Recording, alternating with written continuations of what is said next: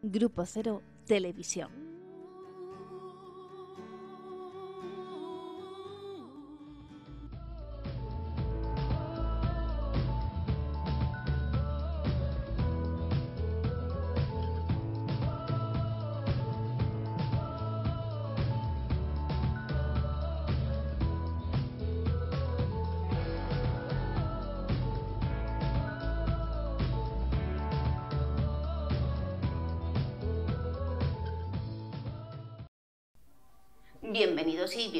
Ya estamos de nuevo en la psicoanálisis a la carta. Con nosotros la doctora Pilar Rojas Martínez, como ustedes saben, psicoanalista de la Escuela Grupo Cero, médico especialista en medicina familiar y comunitaria y en reumatología. ¿Qué tal? Y Elena Trujillo, psicóloga y psicoanalista de Grupo Cero. Y ya le hemos avanzado en otros programas patologías o formas de entender la efectividad del psicoanálisis. Es decir, el psicoanálisis cura, cura muchos de esos padecimientos que miles de personas consideran que es una manera de vivir o que no hay soluciones para los mismos.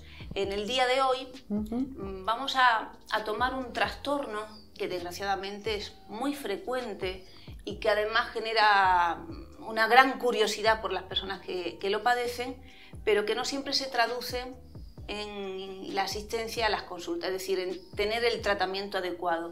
Me refiero al trastorno obsesivo compulsivo. Sí, al TOC, se conoce habitualmente como TOC o también neurosis obsesiva. Claro, es muy frecuente y tú decías con respecto a la, curación, ¿no? Porque todo lo que nos pasa es efecto. Entonces, habría que modificar lo que produce ese efecto, que son las cuestiones inconscientes, que son las que trabaja el psicoanálisis. Y por eso podemos decir que es efectivo no solamente en el trastorno obsesivo compulsivo, sino en otras muchas cosas. ¿Y qué es el TOC? Pues TOC es un padecimiento, como tú bien has dicho, que tienen algunas personas y es un padecimiento porque se ven impelidos a realizar, pues yo qué sé, una serie de actos ¿eh? Eh, que le dificultan su vida cotidiana, por ejemplo. todos conocemos esas personas que se tienen que lavar 20.000 mm, veces las manos. Cada vez que tocan algo o creen que tocan algo, se tienen que lavar las manos, pero claro, tantas veces se lavan las manos que no pueden hacer nada o tienen que colocar las cosas en una determinada posición para poder llevar a cabo el acto que esas cosas implican. Entonces, tanto colocar, tanto colocar, pues no pueden llegar a hacer lo que, lo que se precisa. Por ejemplo, me, voy a poner a estudiar, pero para poner a estudiar tengo que poner el libro en esta posición, eh, a su lado y separado 3 milímetros, estoy un poco exagerando, pero, ¿no? pero es así también, ¿no? El cuaderno, los lápices, todos del mismo color, eh, alineados de una manera determinada. Tantas cosas tengo que hacer que al final estudiar no... Es muy interesante porque hay muchas personas que pueden definir sus características de personalidad. Ya hemos dicho que la personalidad no existe, tenemos que ser adaptables a cada circunstancia, pero hay muchas personas que se pueden sentir identificadas y, ah, pues yo también me lavo mucho las manos, o yo también soy muy ordenada, muy escrupulosa, etc. ¿Cómo distinguir aquello que podemos considerar como una característica normal o tolerable o modificable y adaptable con esas otras que son fijas, que se repiten, que tienen que ser, porque además eh, también hay una evolución en el tratamiento obsesivo. Al principio eres más flexible y luego, además de ir ampliando el rango de síntomas, eres mucho más inflexible los mismos. Claro, es que no es lo mismo tener un rasgo obsesivo, por ejemplo, de un rasgo de carácter, que además no está mal, porque ser una persona ordenada, podríamos decir, puede venir bien, a que se convierta en una obsesión, como el, el propio nombre indica, y dificulte eh, la, actuación normal, la vida del sujeto y le produzca malestar. Son dos cosas diferentes. Está bien ser ordenado, ser escrupuloso, eh, ser, tener un cierto grado de higiene y lavarse las manos si voy a manipular determinadas cosas o he manipulado determinadas cosas. Y eso es una cosa. Y otra cosa es que eso me produce un malestar que si no lo hago eh, me mm, siento una gran angustia y además no puedo hacer otra cosa mientras estoy haciendo eso. ¿no? Yo creo que son, digamos, un poco también eh, intensidad. ¿no? Y también para poder entender eso que dije al principio, la importancia de acudir a un profesional a, tratarse de ese trastorno, es que eso que parece una característica, una peculiaridad de la persona, es una sustitución de otra cosa. Claro.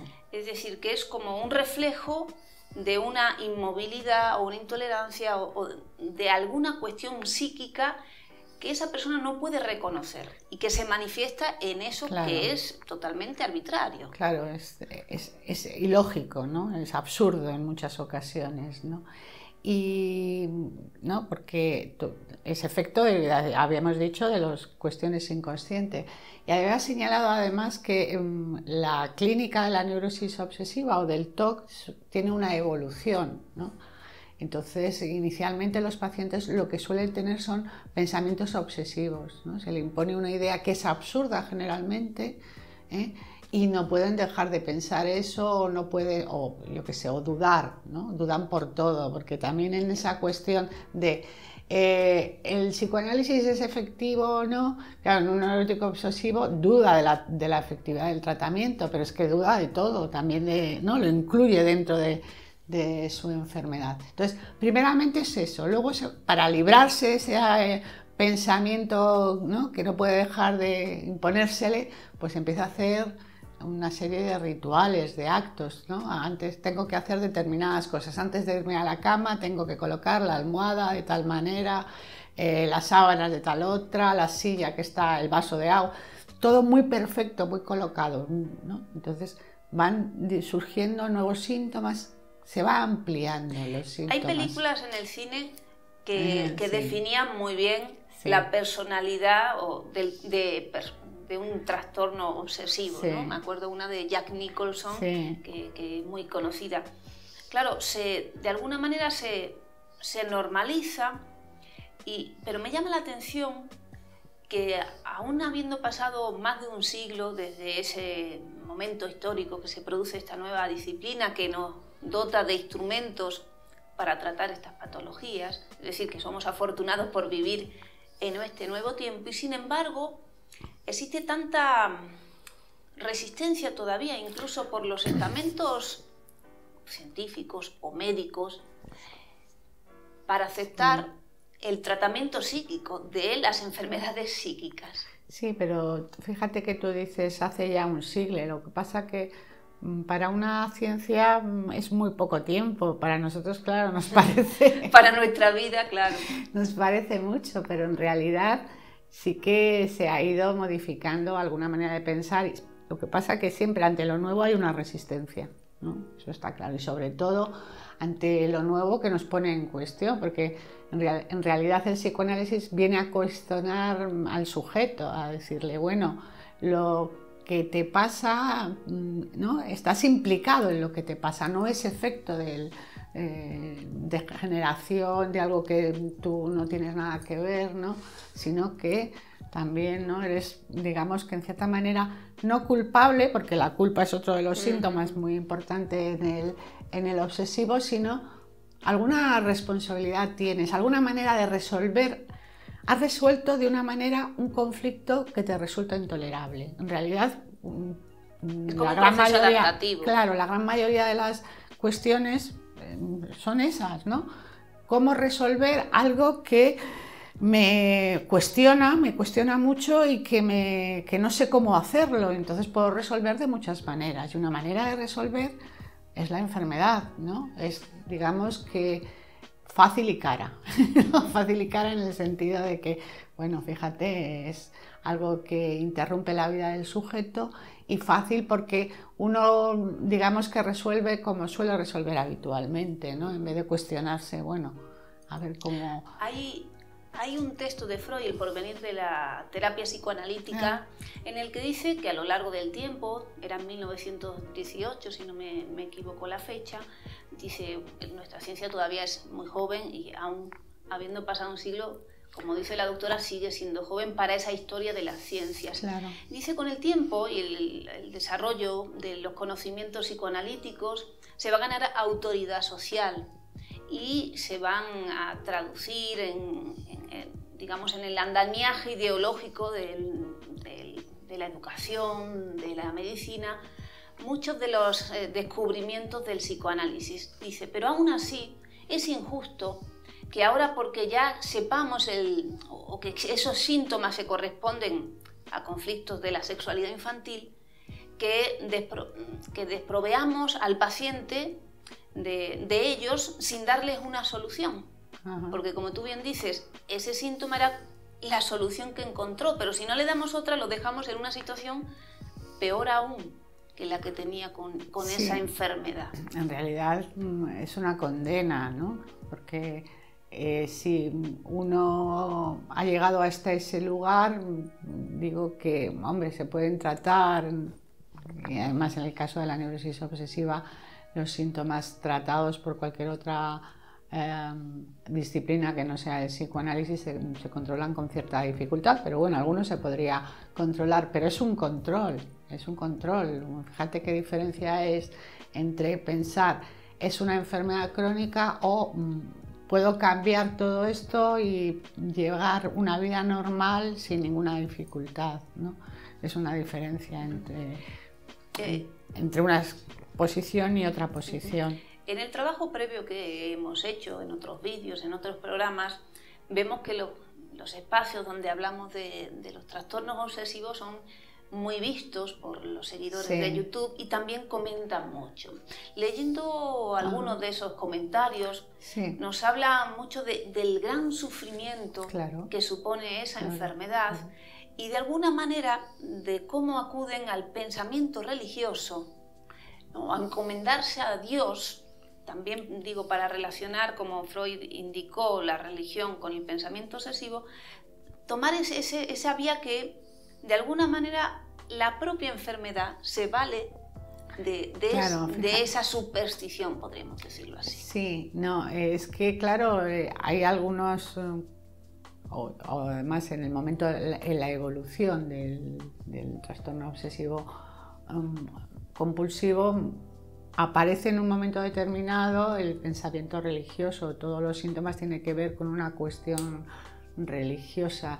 Es que en realidad el obsesivo toma o puede tomar cualquier cosa que le rodea para incorporarlo a su, a su enfermedad, ¿no? a sus síntomas. ¿no? Entonces también es el, sentimiento religioso, ¿no? es decir, que en vez de, ¿no? ahora lo que tienen que hacer es, hay pacientes, por ejemplo, que tienen que rezar 30 mm, veces seguidas el, el Padre Nuestro y si dudan en una frase tienen que volver a a empezar o tienen que introducir en un determinado momento una palabra diferente. Es decir, que en realidad lo toman. Es muy interesante ese detalle porque Freud dice que el psicoanálisis no atenta contra ninguna moral, no, no establece condiciones de cómo el paciente debe vivir o qué ideología debe tener. Por tanto, si el paciente es religioso, ahí no se mete el psicoanálisis, pero viene a hacer una diferenciación. Dice, si la neurosis se sirve de, esa aparenta religiosidad, cuando el tratamiento restablece de esa enfermedad de la neurosis al paciente, va a desaparecer también e, esa, práctica religiosa que no era religiosa, claro. que era neurótica. Claro, porque una cosa es eh, tener creencias y ser religioso y otra cosa es utilizar eso para o en relación con la, enfermedad. Son dos cosas diferentes. Si, si forma parte de los síntomas va a desaparecer. Si no forma parte de los síntomas no va a desaparecer. Uno va a seguir siendo religioso. Esa es la diferencia. Y a un paciente obsesivo, porque además están las obsesiones de pensamiento que es como un periodo más inicial, y luego están esos comportamientos compulsivos, esos rituales eh, que se van estableciendo también, que son un avance de la enfermedad. ¿Cómo en la vida cotidiana uno puede reconocer, mira, mi pareja es obsesivo, mi compañero es obsesivo? ¿Se puede reconocer, es conveniente, se, se, se distingue una persona con TOC de otra que no lo es? ¿O lo esconden a los demás? Es que, ¿sabes qué pasa? Que muchos de los eh, pacientes obsesivos pueden realizar mm, una actividad, digamos, pueden trabajar, mantienen relaciones, lo que pasa que ese trabajo siempre va a estar tan, como teñido ¿no? por algún tipo de, algún rasgo, pues algún ritual, alguna acción, por ejemplo, ¿no? Yo recuerdo eh, un médico, cuando yo era residente, un adjunto que había donde yo hacía la residencia, que eh, coincidía con él en las guardias porque estaba en el servicio de urgencias. Y fíjate, claro, en el servicio de urgencias no paras, estás de un sitio para otro, viendo un enfermo, viendo otro, no sé qué. Y estaba continuamente lavándose las manos. Él seguía haciendo el trabajo de la guardia y era un buen médico, pero estaba continuamente interrumpido por esta cuestión, ¿no? Entonces, a uno le llama la atención, ¿no? Y dice, uy, esto, porque claro, una cosa es que tú expreses a un paciente y vayas a lavarte las manos, que es lo que se tiene que hacer, ¿no? Después de, Y otra cosa es que me las tenga que lavar 40.000 veces, ¿no? Entonces, yo creo que sí que se distingue, ¿no? Estas personas que o, por ejemplo, hay muchas mujeres que son muy, se dicen, maniáticas del orden. Se les dice, ay, es que es una maniática del orden. Hombre, una cosa es que a mí me gusten las cosas ordenadas y otra cosa es que me crea malestar y angustia y esté todo el día colocando las cosas y tienen que ser de una manera determinada. Bueno, esa rigidez que le impone a ella, no es que ella, no, la enfermedad, entonces ya, me llama la atención. ¿no?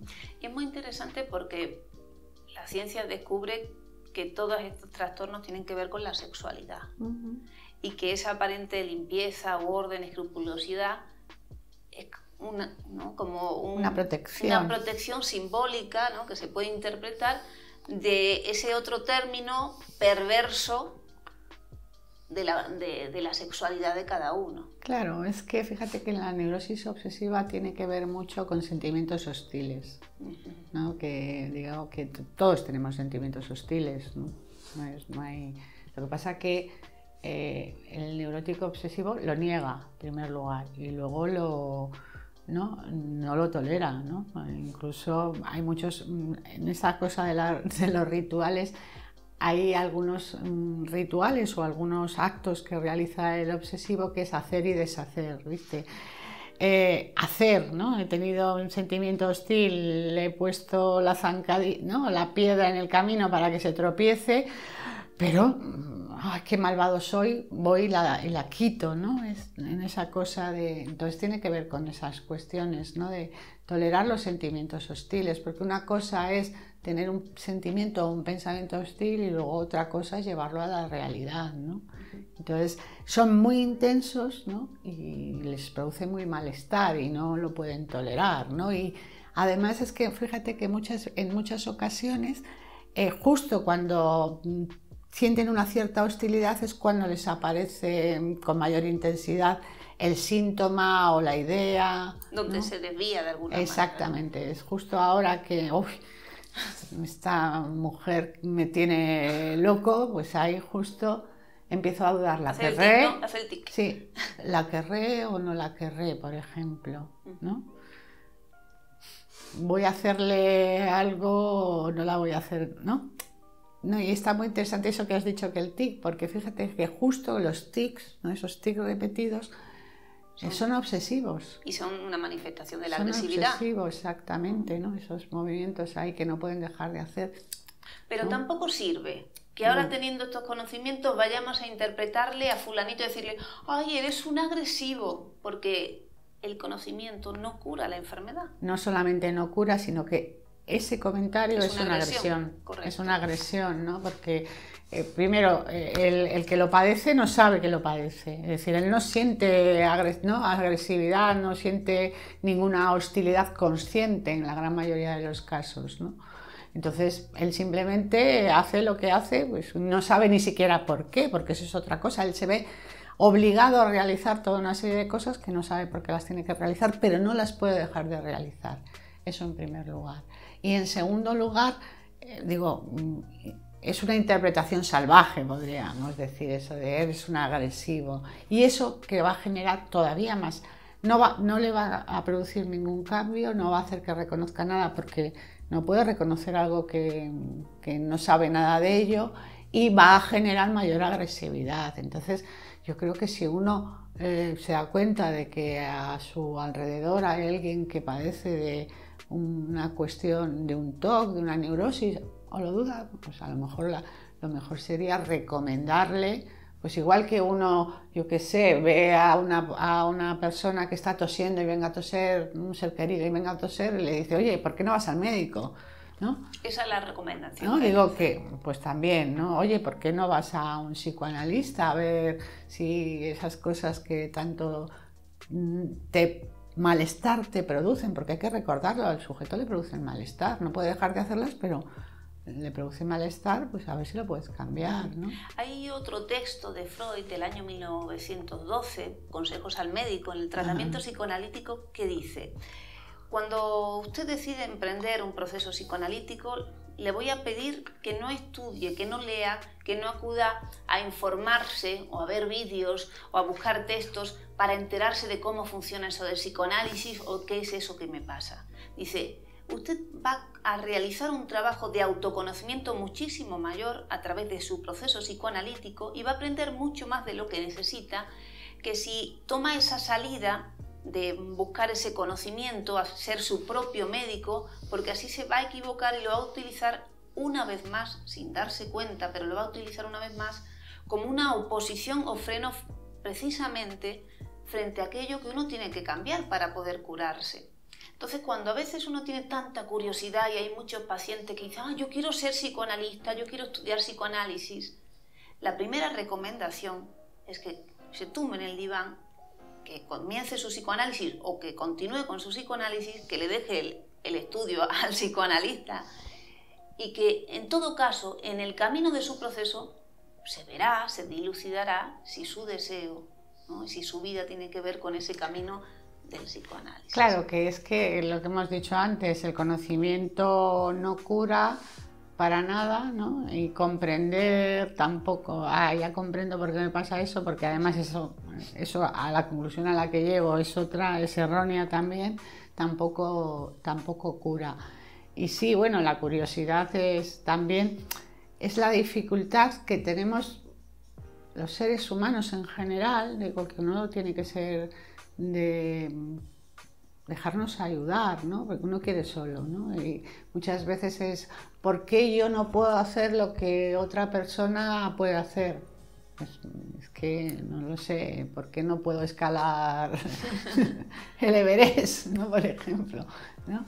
Es que si quiero escalar el Everest, lo que tengo que hacer es em, ponerme en condiciones de escalar el Everest, tendré que ¿no? Buscarme un entrenador, ¿viste? Que, pues en esto es exactamente igual, ¿no?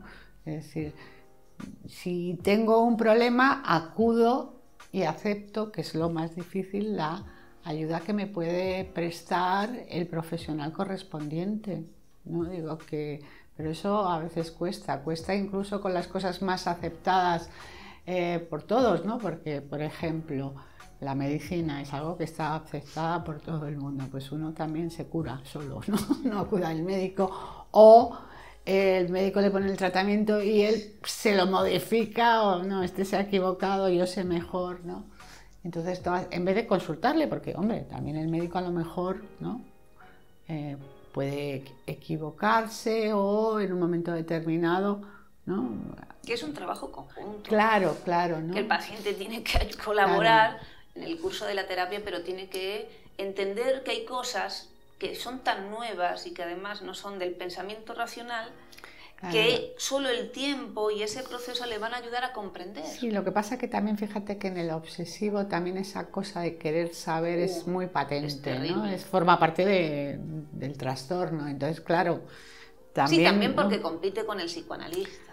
Sí, bueno, pero digo que está en él también, sí, el, el neurótico obsesivo, ¿no? Pero además está en el querer saber, siempre quiere saber, ¿no? Es toda una cosa de pensamiento ahí que le produce, está muy erotizado todo, ¿no? Entonces, ¿no? Eh, digamos que la, función intelectual digamos que es una cosa muy importante que está en juego en el obsesivo y entonces claro pues por eso, mil sobrejuelas que se dice. Claro, por eso insistir en la importancia de seguir las reglas psicoanalíticas, de la prescripción que el psicoanalista te, te indica, acudir a las sesiones. El psicoanálisis se produce en la sesión de psicoanálisis con el psicoanalista y todo lo demás mm, forma parte de tu neurosis, así que no hay que sacarlo de contexto. Lo que pasa es que tampoco le va a dejar de pasar eso, ¿eh?